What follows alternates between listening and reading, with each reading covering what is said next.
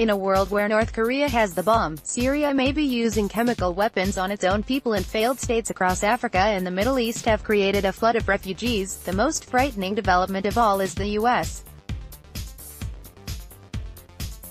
decision to pull out of the Iran nuclear deal, according to a former head of NATO, the latest demands that President Donald Trump has issued to Iran back the Tehran government into a corner and risk a conflict involving the Middle East's major powers, said Javier Solana, former Secretary General of the North Atlantic Treaty Organization. Iran scares me, said Solana in an interview in Madrid this week. It's very tough what the U.S. is asking for. Iran will never accept that. It's practically regime change. U.S.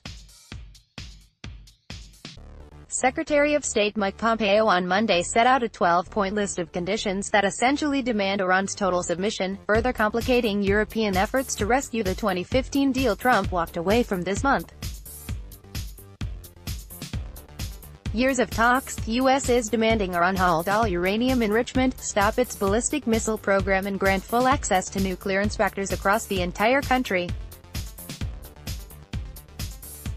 Iran, a majority Shiite country, must also stop funding rebels in Yemen and withdraw its forces from Syria. funding of Hezbollah and Hamas must end, Pompeo said. Nowadays we should already know that a change of regime doesn't work, said Solana, who is chairman of the Center for Global Economy and Geopolitics at ESADE in Madrid. Said the U.S decision was regrettable. Solana started negotiations with Iranian President Hassan Rouhani in 2003 when he was the European Union's foreign policy chief and Rouhani was chief nuclear negotiator under reformist President Mohammad Khatami. The process stalled when hardliner Mahmoud Ahmadinejad came to power in 2005 and was resuscitated when Rouhani himself became president in 2013.